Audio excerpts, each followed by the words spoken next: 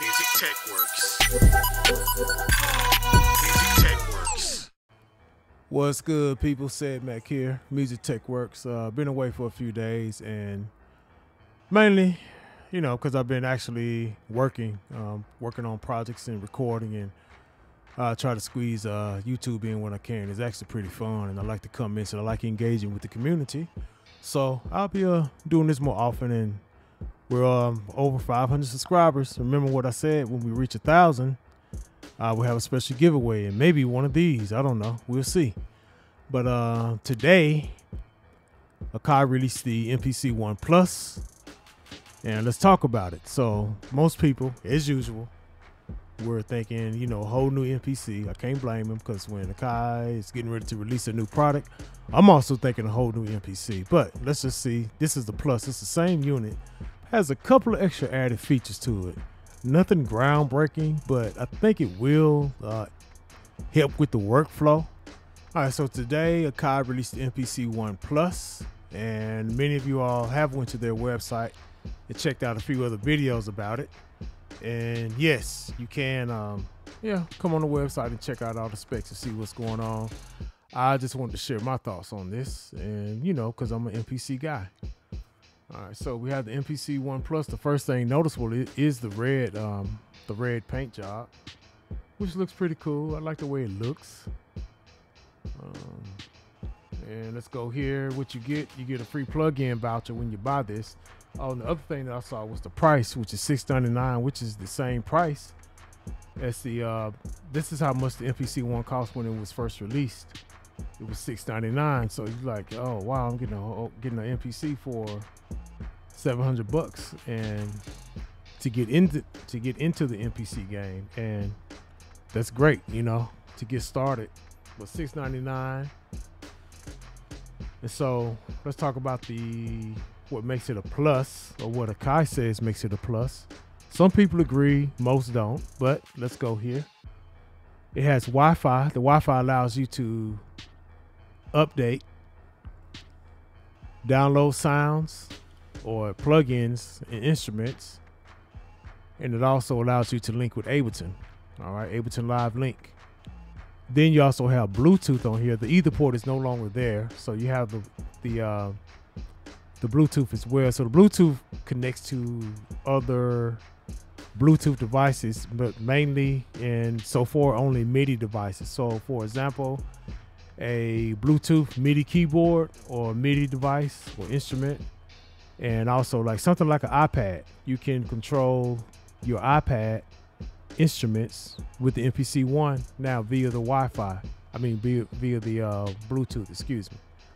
Okay, so what else is new? Well, something that's not new, but it was expected, is that we do not have a battery. Okay, and also it has two gigs of RAM. There was not a, a RAM update for this machine. Okay, so you still have your two gigs of RAM. And honestly, I never ran out of space. I'm not a big sampler, and but I am using more of the. Um, I'm using more sampled instruments, more key group instruments. So let's see if that comes into play later. Because we, after you run out of the eight plugins in standalone, standalone mode, the key groups sound pretty good too. The key group instruments they sound really good. The expansions like the F9, those are key group instruments, not plugins. So the more RAM you have, the more you can load up. But I'm pretty good at managing my um, situation as far as space and things like that. So, but I would say more importantly, what they did do, they did up, they did upgrade the processor to the quad core, the same one that's inside the MPC X and the Live 2 instruments, uh, the Live 2 in, uh, MPCs, the X, XE, etc. So you um, you have the capabilities of loading all these plugins. This Flavor Pro here. Uh, what else here? MPC standard. Now, what I do like is the the form factor of the MPC one. I, I, I have always liked it because it is a uh, you know it looks like an MPC. You know, um, there was a rumor about the tilt screen, the flip screen. I don't know how that was even done, but it's not a tilt screen. The screen is still flat. I thought they would update that to make it tilt. So maybe for the MPC Live um, Plus, I guess we can call it the Plus if they go with the name uh, formula here. What else do we have? Um, oh no, mainly that is it. I do like the price. There was no change to the converters for those who, you know, want to know. You can go on this site and watch uh, a couple of uh, cookups with the MPC one. See what else we got here. Uh, MPC 3000. You can put the vintage mode in there to. They never really before talked too much about the vintage modes. I wonder if all this sound and converter talk has I wonder if that made them kind of emphasize that. I haven't seen too much about the vintage modes from Akai or inMusic, but as you can see here, they're showing the MPC 3000 um, as part of the insert effects, which they also have the MPC 60, the SP 1200, and the SP 1200 ring. And it'd be nice if they would get a few more. I'm sure those are coming as well. Uh, of course, you can get all these expansion packs. It comes with a few already, but all the other thing that they did, they increased the onboard storage. Okay, so now it is 16 gigs, but they give you two gigs of content. All right, so you really have you literally have 14 to play with, 14 gigabytes to play with to save. I don't really use the onboard storage that much. I may do it as a backup, but you can't. That the the the internal drive that's built into the into the MPC one, it does not connect to the computer. So what you have to do is load something from that drive and then save it to one of your um, external devices, like a flash drive, hard drive, or the SD card slot that's uh, on the front of the actual MPC one. And they did not increase, they did not include a drive bay to uh, install your own internal hard drive. Okay, but the, the, SD drives work pretty good. I think I got about three or four 128 gigabyte SD drives, maybe one or two 64 gig gigabyte uh, SD drives that uh, work. I swap them between all my new gen MPCs and even throw them in the computer if I want to to pull stuff or load stuff too. But yeah, that's basically it. So who is this for? I think it's for still for entry level MPC users. Not necessarily entry level beat makers, but entry level MPC users. Okay. And it's not a slouch. You know, the workflow is there, the feel of the MPC is there, the touchscreen is there, the I think all the sounds are there. You know, still has that MPC punch. You know, not like the old vintage machines, but it still has that. You know what's what's going on today. You know, type of sound. Plus, with anything, you can mix it and, and do a lot of stuff with it to make it sound how you want it to sound. Uh, for instance, the demo track that I'm going to make with the Jura is I got the MPC 3000 emulation running with that just to give it a little little bit more hit. And um, I did use a couple of the uh, I used the transient, the air transient plug-in to make the drums hit just a little bit harder. And I didn't do too much to it. If I was to get this into a DAW, I would, you know, mix it and do some other stuff. I would track it out instead of exporting. But uh, yeah, that's. I'm not mad at this machine. It's not revolutionary, but it is an improvement up on, up on the first version, and they didn't change the price. So I'm thinking if they would have updated the RAM to a larger amount, they probably would have changed the price. All right.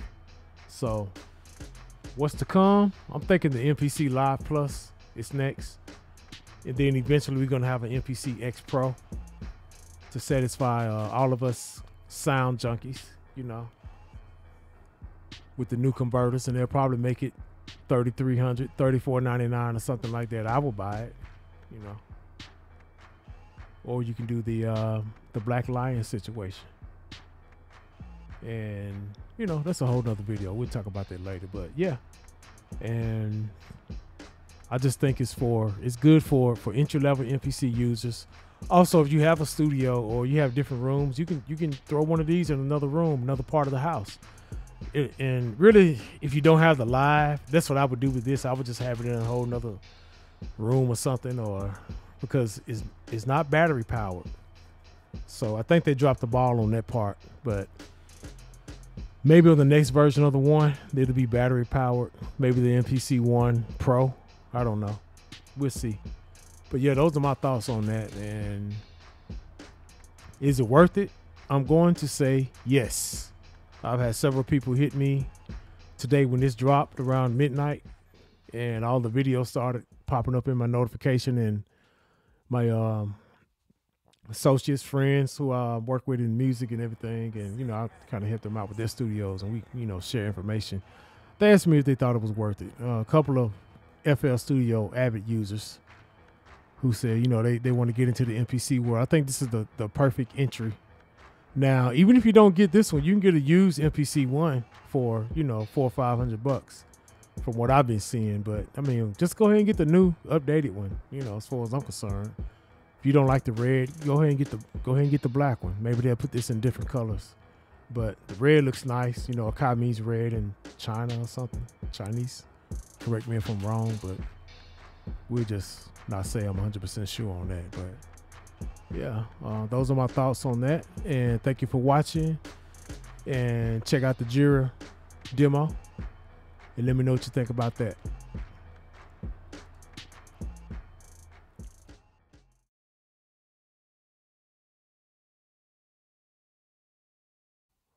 All right, so also released along with the MPC One Plus is Jura, which is a basically a um, Roland synthesizer um, clone type instrument. Uh, the Jupiter it looks like. And what I'm gonna do, I'm just gonna go ahead and just demo some of the sounds here. And I have a drum beat on track one, but we'll just go ahead and go through some of the presets without me touching anything or, or changing in any other parameters. Let's just see what we get out the box. All right, so what I do, I just open it and show the, the menu, and then we just go for it. All right, so here you can see all the, the presets here.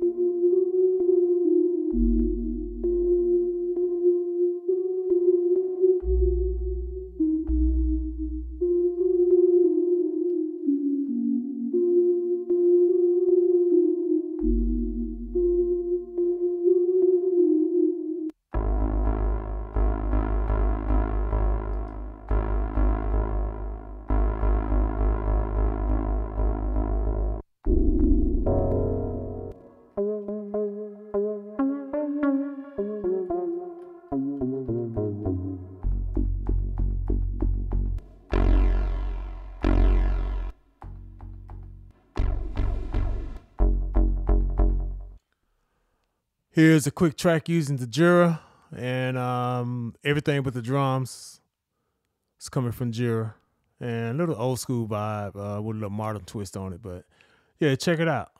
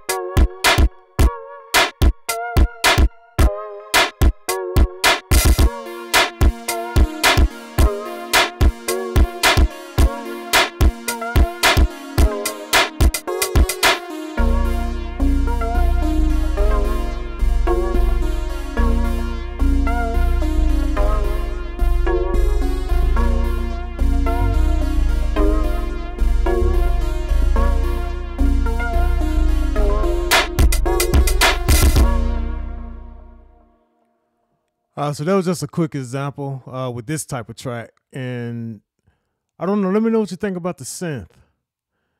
And it, it sounds sounds pretty good to me. I have I have the uh, Jupiter XM, the um the board from Roland, and you know it kind of emulates that that Jupiter synth as well, the original. But uh, let me know what you think. Let me know what kind of job you think Akai did, and is it worth the money? Is it worth buying the the MPC One Plus to get it for free? You do get a voucher to get a free uh, instrument.